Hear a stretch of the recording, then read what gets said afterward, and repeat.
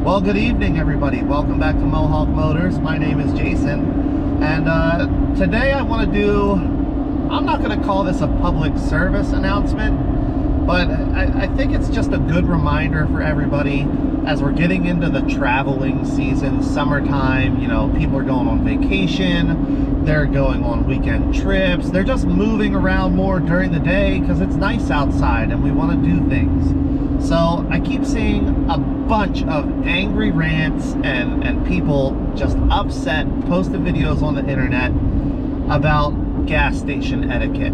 And I'm sure there are several versions of what people think proper or acceptable gas station etiquette is. But spouting off in an angry rant in the heat of the moment is not the way to do it for people. So I'm hoping sharing a video with what I believe is gas station etiquette that will let everybody move through, do what they need to do, and not be held up or jammed up or waiting on other people who aren't thinking about what's going on around them or just don't realize what the real situation is. Maybe this will help and we can all just cut a little bit of frustration out of our summertime travel.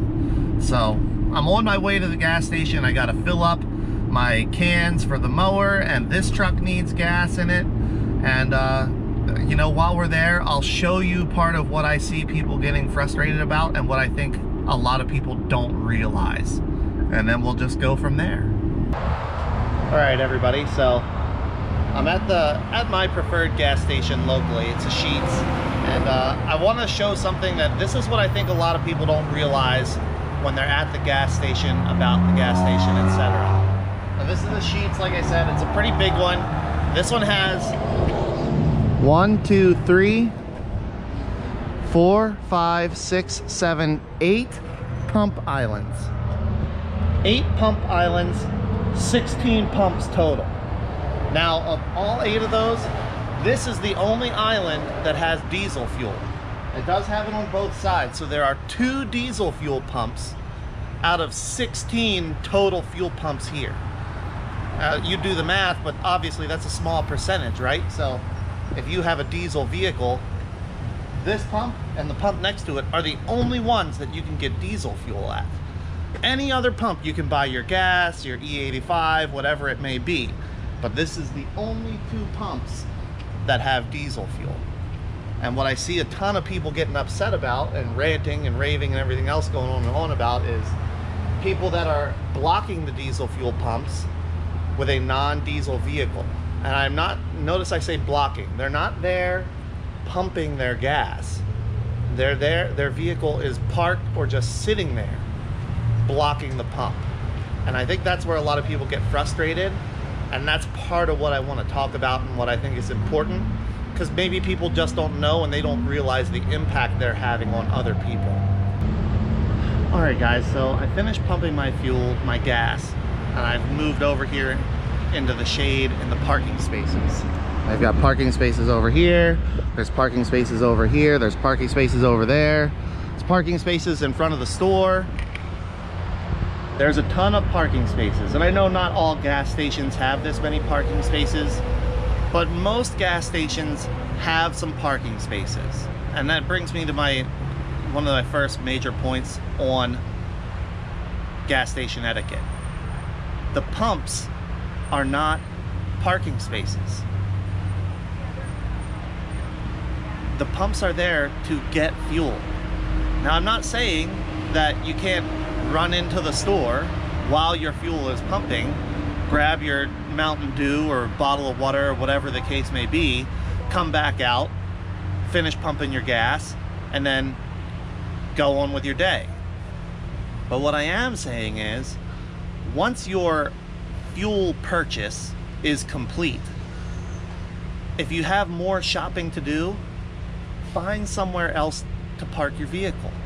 Like I said, most gas stations have plenty of parking spaces or even just a spot where you can move your vehicle out of the way.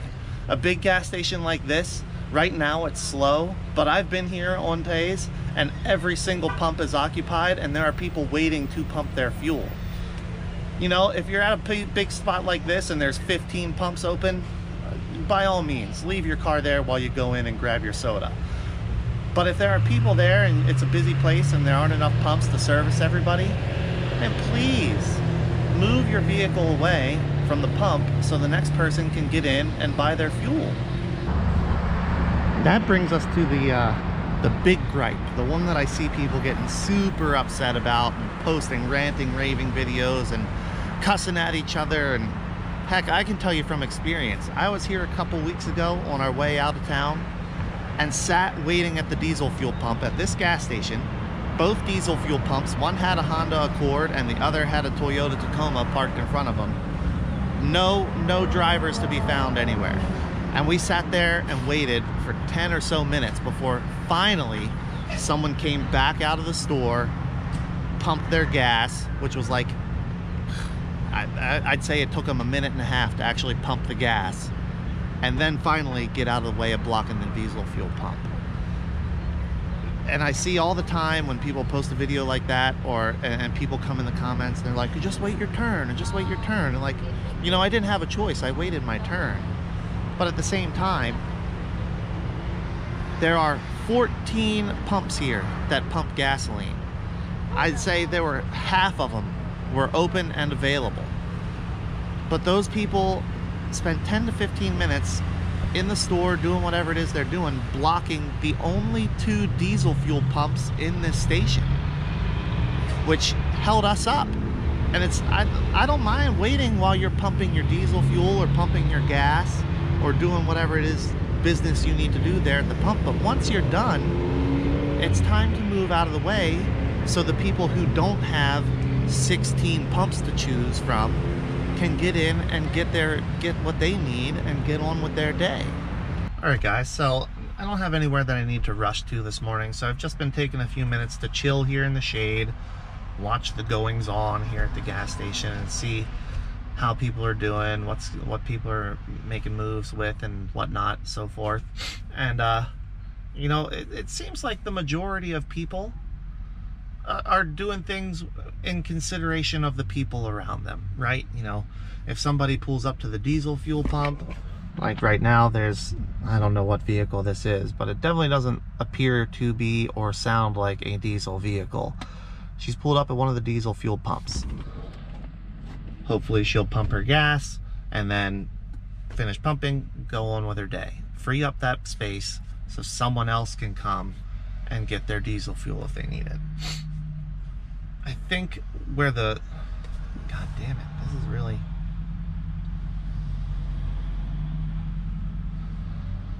Alright guys, so I've been sitting here for a few minutes just watching the goings on here at the gas station to see like is the experience that I'm seeing people posting videos of being angry that the fuel pumps are blocked, the experience that I've had on occasion. Like most of the time I don't have any problems, but here and there man, it really boils my blood.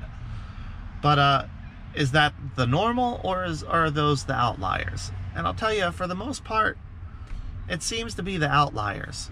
Most of what I've seen going on here, people are coming in, they're getting their fuel, their diesel fuel, their gas, whatever the case may be, and they're moving their car to a parking space to go in the store and do whatever they need to do, or, you know, to make a phone call, or whatever the case may be. It's, I don't see a lot of people here that are just leaving their vehicle parked at the pump. Uh, and that's the big thing. Like, the pumps are for pumping. They are not parking spaces. When you've finished pumping your fuel, if you have other business to conduct in the store or to go use the bathroom or whatever the case may be, please move your vehicle to a parking space so that someone else can use and access the pump, right? Um, I don't think people do it maliciously. I think it's probably just people have never been taught or told or just haven't considered the other people around them who need access to the pump. You know, maybe somebody's trying to get to work on time. Maybe somebody's they they have limited options in pumps that they can get what they need from. Uh, and maybe somebody is just they're they're pulling a trailer and they can't maneuver to another pump, and you've got the one that they can access blocked off. So there's lots of reasons, Uh, and in my experience, gas stations with stores have plenty of parking spaces for that reason.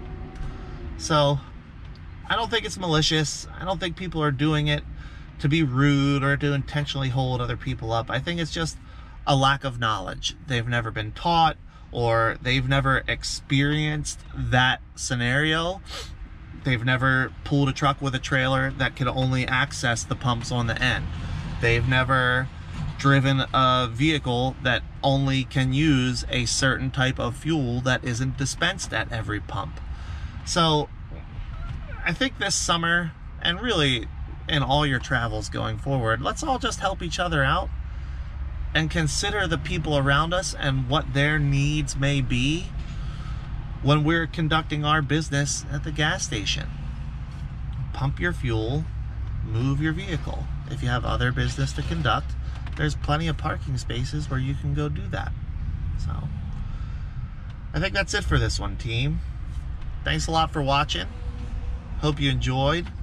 Don't block the pump. Until the next video, take care.